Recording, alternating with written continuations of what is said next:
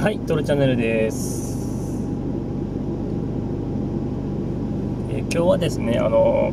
またちょっと給油に行く動画なんですけど、ちょっと給油に行った後にちょっとオートバックスに買い物に行こうと思ってましてということで、まず多分今回はえっ、とスタンドまでになると思います。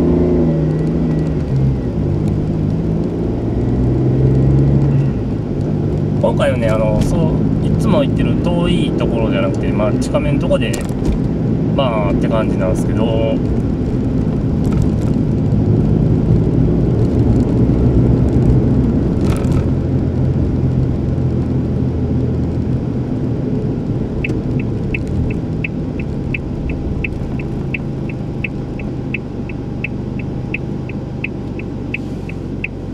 9月に入りましたけどまだねだいぶ暑いですよね。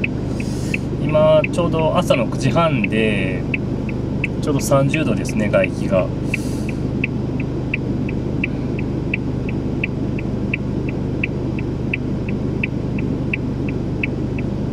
なんでまあまあ。窓を開けてもねだいぶだいぶいけるぐらいには涼しくなってるんですよね。まあ暑いと言っても。なんでまあ今ちょうどエアコン入れてるんですけどまあこの給油が終わったらもうエアコン封印しようかなって感じですよね。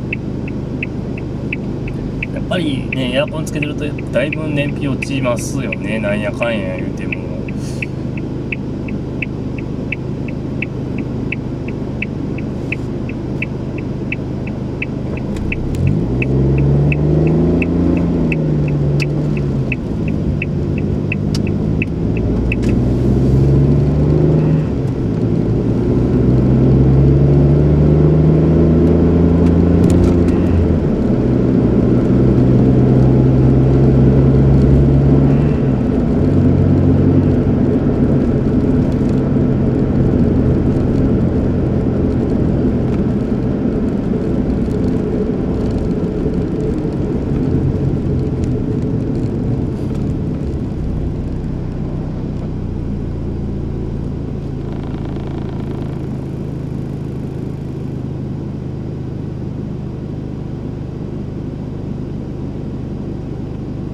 でですねあのーここのとこねあのーえーなんていうんですかねあのーエンジンオイル。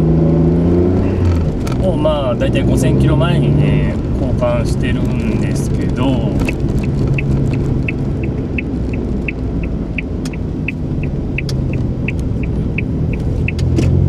ちょっと近々ねあの遠乗りの予定をしていてちょうどそれがねあの往復で2500キロほど乗る予定なんですよ。またその件はまたおいおい話っていうか話題にすると思うんですけど。で今そのちょうどエンジンオイル交換してから2100キロほど乗ってるんですよ。なんでねわりかしギリギリなんであんまりあごめんなさい。2300キロですこの付ね近は中近最重点エリアですよ。なんでねあの割と休みになったらドライブとかしてたんですけどちょっとそれをこの車じゃなくてあの嫁車のソリオでね最近やってたんですけどそのなんていうんですかやっぱその違いっていうんですかうんあのちょうどね昨日もちょっとうろうろしてたんですけどその嫁車のソリオであのこの車と違ってやっぱり、うん、もっさりしてますよね、うん、すごく感じました。あの加速したい時とか追いかけたい時やっぱり踏んでワンテンポ遅れてエンジン回転が上がって加速しだすって感じなんで。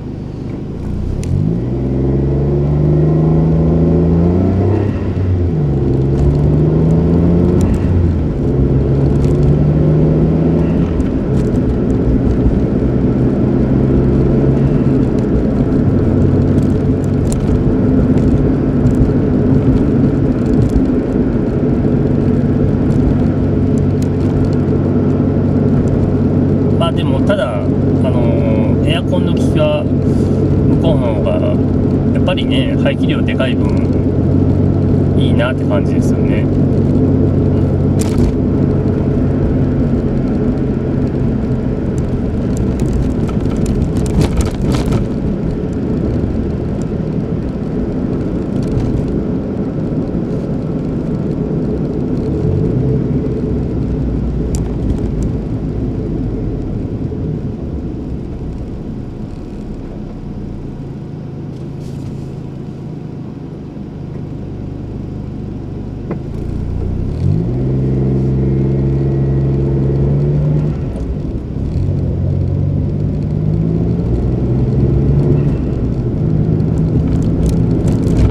でですね、まあ、今回はちょっと急に行くんでね、ちょっと燃費関連の話をしようかなと思ったんですけど、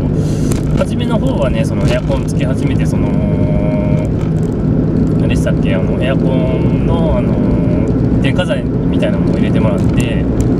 あの、なかなか燃費、よほど悪くないですよって言ってたんですけど、やっぱりね、あの通勤のみでずっと短い距離を往復してると、すごい落ちて、初めてあの20切りましたねこの車になってから。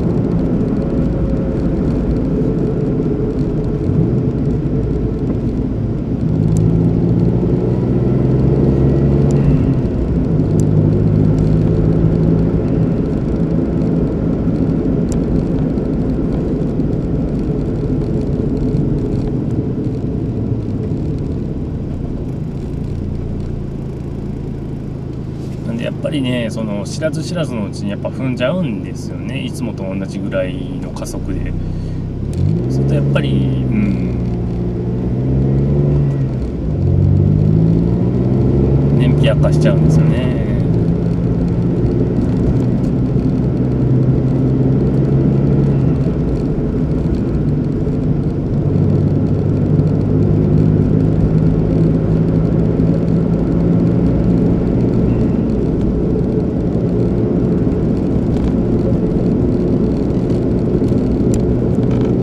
ってことでねもうすぐ着きますねあのスタンドにね普段からそっちで入れろみたいな感じなんですけどわりかしなんていうんですかね。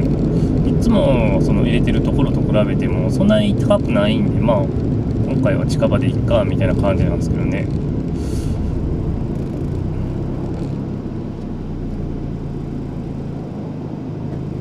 今ちょっと映ってますかね。左に左や右側の。まあ一応 NS カードなんで123円なんですけど